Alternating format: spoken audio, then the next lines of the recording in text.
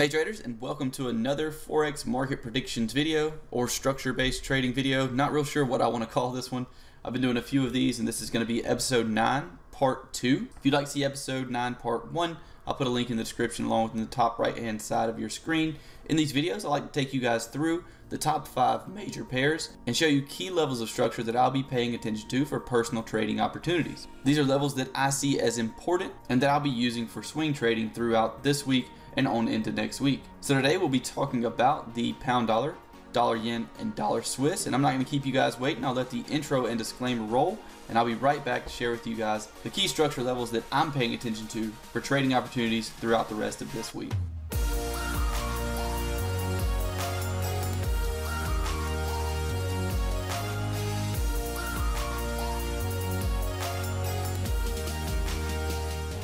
Welcome back traders. So before we get started in today's video, if you are new here to the trading channel, then go ahead and click that subscribe button to be alerted when we come out with other free educational content here on YouTube. If you're a beginner, if you're someone just starting out in Forex trading or just starting out in any market, then educating yourself is going to be one of the most important things in your trading, especially right now. So don't go out there if you're brand new to trading and try opening a live account. Instead, immerse yourself in some good educational content, whether that be free content like this here on YouTube or paid education. It's much easier and much faster to get where you want to be in your trading career by following someone who's already there. It's going to be a lot easier if you actually educate yourself. So now let's go ahead and start today's video on the pound dollar. So looking here at the pound dollar, we can see that we still have this level of support in our blue line at the 1.2877 level holding up as support for the moment. Now this market looks as though it could break through this level and if that happens, then this level will become resistance. So what we actually need to do is go ahead and we'll leave this line blue for now because we haven't actually broke below it quite enough to call it resistance. But what we can do is look at our next levels of support here on the pound dollar. So I'm to go ahead and grab my line tool change the color to blue. And our next level of support here on the pound dollar is going to come in right in there. So that's going to be the next level of support we have based on this major structure analysis on the daily chart.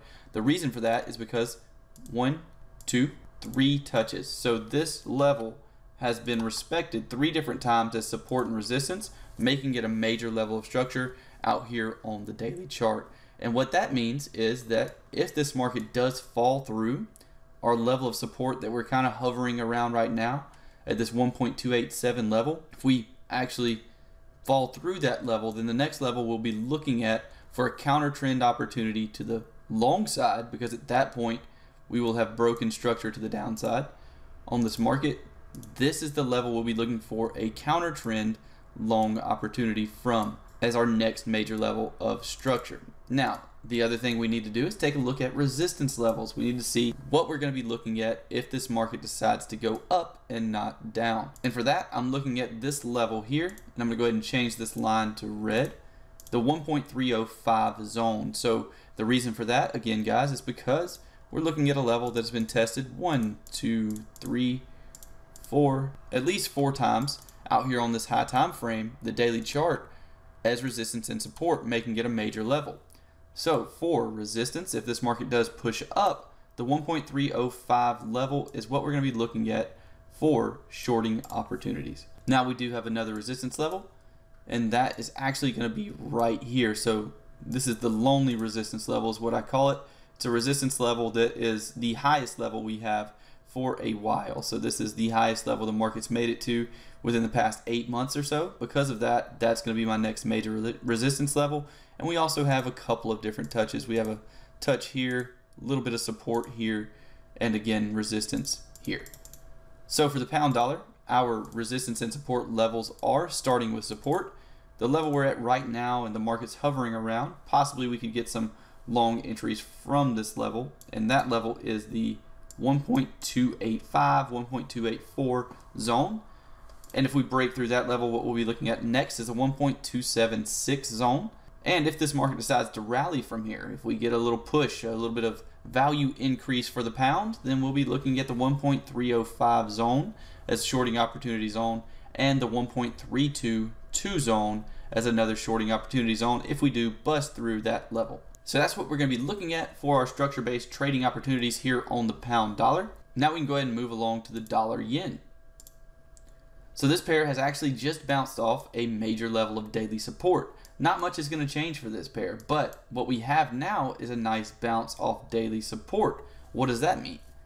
That means that we could possibly see this market continue up to our next resistance level. So in preparation for that, we may be looking for long opportunities on this pair on lower time frames. Currently, I don't see a way to get involved, but if we get some kind of entry, let's think very far ahead and say that we get maybe some type of advanced pattern from this level, then that could be a way to enter this market going long for advanced pattern traders. And if on our lower time frame, we get some kind of simple pattern breakout in around this area, then that could be an opportunity for simple pattern traders to take this market long up to our next level at 112.02 which is going to be our next daily resistance level. Now again guys, I'll stress the importance that none of us know what the market's going to do. All we can do is make predictions and give ourselves a statistical advantage over the market by trading a strategy that we've tested throughout historical data and found to be profitable. That's how profitable trading actually works as a technical trader. So at this point on the dollar yen, what we'll be looking at when it comes to structure levels is if this market continues to push up, then we'll be looking at the 112.02 zone for possible shorting opportunities. And if we push above that level for our next shorting opportunities, we'll be looking at 114.18.